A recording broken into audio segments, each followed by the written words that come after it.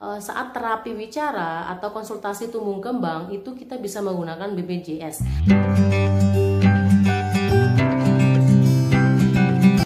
Hai Assalamualaikum warahmatullahi wabarakatuh. Selamat datang di channel Fatimah Dewi Ayuni bersama Bu Dewi. Hai semuanya, perkenalkan saya adalah Bu Dewi. Jadi di video kali ini saya itu mau sharing tentang pengalaman saya menghadapi anak saya yang pertama eh, yang pernah kena speech delay seperti itu di umur 2 tahun. Nah di video kali ini itu saya mau sharing anak saya kan pernah tuh. Jadi salah satu video saya yang tentang pengalaman uh, speech delay yang seperti ini itu kan banyak sekali yang mengapresiasi ya. Dan ternyata uh, banyak sekali yang komentar banyak sekali yang bertanya gimana sih caranya? Gimana sih uh, gini gini gini? Pokoknya banyak sekali pertanyaan. Nah di video ini itu saya ingin menjelaskan ke teman-teman semuanya bahwa saat terapi bicara atau konsultasi tumbuh kembang itu kita bisa menggunakan BPJS dan bagaimana caranya, terus bagaimana alurnya dan apa aja sih yang bisa kita dapatkan dari pelayanan BPJS untuk tumbuh kembang anak khususnya adalah speech delay akan saya jelaskan di video ini.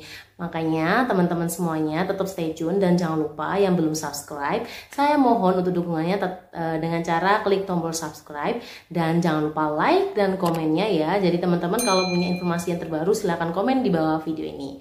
Stay tune. Jadi di video saya yang tentang menghadapi uh, anak delay itu banyak sekali moms atau mungkin eh, bapak-bapak juga itu berkomentar bahwa tidak bisa uh, apa ya men memeriksakan anaknya untuk ke dokter, memeriksakan anaknya ke dokter spesialis, ke dokter tumbuh kembang karena terkait biaya seperti itu. Uh, ada juga yang uh, tanya gitu bahwa uh, klinik tumbuh kembang itu mahal banget gitu kan. Nah, di video ini saya mau jelaskan teman-teman bahwa sebenarnya uh, eh, BPJS itu juga memberikan fasilitas ke kita untuk konsultasi tumbuh kembang anak gitu. Jadi, saya uh, empat sekitar 4 tahun yang lalu itu juga menggunakan BPJS saat mengkonsultasikan anak saya yang memang saya rasa terlambat untuk bicaranya gitu ya. Dan setelah saya cari-cari untuk saat ini saya cari-cari artikelnya di Google gitu kan. Nah, itu ternyata masih loh ya. Jadi BPJS itu masih me, apa ya men, memberikan fasilitas Eh, konsultasi tumbuh kembang anak itu dan terapi-terapinya itu juga bisa gitu loh. Nah, cara-caranya gimana itu akan saya jelaskan ya. Jadi, pertama-tama yang pasti nanti uh, mam semuanya tolong dicatat ya setiap yang saya uh, jelaskan gitu ya. Jadi, yang pertama-tama yang harus kita lakukan adalah si anak itu harus terdaftar di BPJS keluarga gitu ya. Jadi kelas 1, kelas 2, kelas 3 itu nggak masalah jadi kelas-kelas BPJS itu sebenarnya itu nggak berpengaruh untuk mendapatkan fasilitasnya. Jadi kelas-kelas itu itu bedanya hanya ada di rawat inapnya gitu ya. Itu yang menurut uh, pendapat saya mendap apa informasi yang saya dapatkan. Jadi teman-teman kalau ada informasi yang berbeda tolong dijelaskan di kolom komentar ya. Jadi kita bisa sharing aja, sharing-sharing aja. Nah, yang pertama pastikan anak itu uh, sudah terdaftar BPJS seperti itu ya. Nah, yang kedua kalau dirasa memang kita ada apa ya sesuatu yang enggak pas untuk tumbuh kembang anak kita seperti contohnya speech delay, keterlambatan bicara, terus uh, mungkin belum bisa jalan padahal umurnya udah bisa jalan seperti itu ya. Terus apa uh, ada indikasi Down syndrome dan lain-lain itu bisa kita uh, periksakan dulu al, uh, alurnya itu adalah yang pertama itu kita harus ke fase ke-1 dulu. Jadi fase ke-1 itu yang mana? Fase ke-1 itu biasanya dokter umum atau puskesmas. Nah, di situ kita bisa menjelaskan ke dokter uh, fase ke-1 itu bahwa anak kita seperti ini, seperti ini, seperti ini. Jadi, kalau saya dulu itu saya jelaskan bahwa anak saya umur 2 tahun kurang ya, itu 2 tahun kurang tapi uh, ngomongnya masih hanya beberapa kosakata saja seperti itu. Akhirnya karena dokter itu melihat uh, dirasa kurang, dirasa memang uh, apa? kurang tepat ya untuk tumbuh kembangnya, akhirnya saya diberikan rujukan. Nah, rujukan itu jadi selanjutnya, tahap selanjutnya itu rujukan yang diberikan uh, dokter umum itu tadi seperti ini ya teman-teman. Uh, jadi, nah ini bentuknya seperti ini.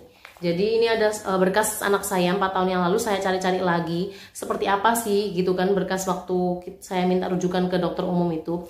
Jadi di sini tuh dijelaskan bahwa uh, anak ini nama ini ya gitu ya, terus nomor kartu BPJS-nya. Nah, itu didiagnosa sementara oleh dokter umum itu. Kalau yang punya anak saya Akbar itu di sini di diagnosanya adalah specified development uh, developmental disorder of motor function. Jadi di sini itu uh, motorik fungsi motoriknya kurang berfungsi seperti itu kan. Jadi uh, setelah nah ini diberikan juga dan telah diberikan telak terapi wicara gitu. Jadi sebel uh, dari dokter umum itu tadi kita diberikan sebuah rujukan seperti ini surat rujukan. Nah setelah itu setelah kita mendapatkan surat rujukan besoknya kita bisa langsung ke vaskes uh, dua gitu ya setelah fase tingkat lanjutan yaitu rumah sakit nah di rumah sakit itu kita ke dokter anak dokter spesialis anak jadi dari rujukan tadi itu kan kita dikasih ke dokter spesialis anak Nah, di spesialis anak itu kita akan konsultasi lebih dalam lagi gitu. Nah, pada saat di rumah sakit itu apa aja yang dibawa? Jadi ada berkas-berkas yang harus dibawa pada saat kita uh, merujuk ke rumah sakit. Yang pertama itu adalah uh, kartu BPJS asli dan fotokopi, terus fotokopi KTP orang tua dan asli, kakak asli dan fotokopi, selanjutnya rujukan tadi surat rujukan dari fase satu tadi asli dan kopi. Gitu ya, itu yang uh, saya dapatkan informasinya. Seperti itu. Dan saya juga seperti itu tahun apa empat tahun yang lalu.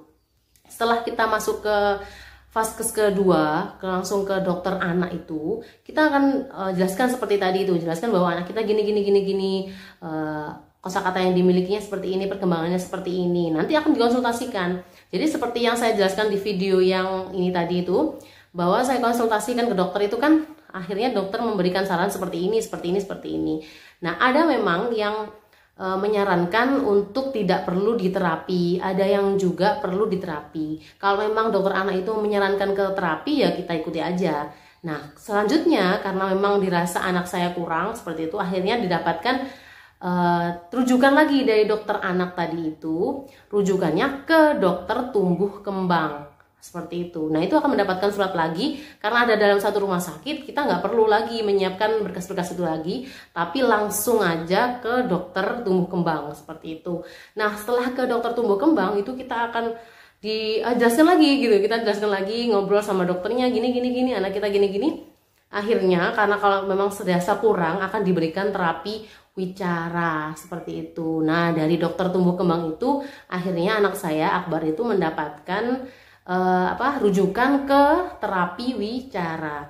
Nah, terapi wicara yang didapatkan oleh BPJS itu uh, yang saya tahu dan informasi yang saya dapatkan itu adalah 8 kali dalam satu bulan. Nah, itu rujukan yang kita dapatkan dari fase ke satu itu harus kita perbaiki perbarui lagi setiap tiga bulan. Jadi kalau memang dirasa terapi itu masih kurang dalam tiga bulan itu, kita bisa memperbarui lagi, kita kembali lagi ke fase ke satu dan langsung ke Vaskes kedua dengan cara membawa berkas-berkas yang seperti saya jelaskan tadi. Seperti itu, Mams. Jadi, eh, teman-teman semuanya, Mams uh, atau ayah gitu ya, jangan uh, bingung, aduh, aku saya ini terkendala dari dana gitu loh, mau konsultasi ke dokter tapi terkendala dana. Tapi insya Allah kalau saat ini kan kebanyakan memang udah punya ya asuransi BPJS ini kan ya.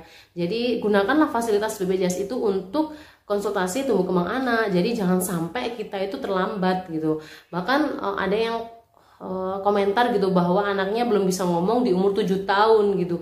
Kan sedih sendiri gitu loh saya bacanya tuh sampai sedih. Kenapa sampai umur 7 tahun kok uh, belum baru sadar gitu loh. Nah seharusnya kan teman uh, mam semuanya kita bisa tahu bagaimana perkembangan anak itu uh, dikurang dari dua tahun gitu loh. Kalau kita lebih cepat mengetahui bahwa anak kita memang spesifik atau tidak itu kan penanganannya akan lebih cepat seperti itu. Nah itu yang bisa saya sharingkan kali ini bahwa uh, terapi bicara atau terapi yang lainnya, terapi jalan, terapi lainnya pokoknya uh, berhubungan tumbuh kembang anak itu bisa di uh, klaim di BPJS kesehatan seperti itu.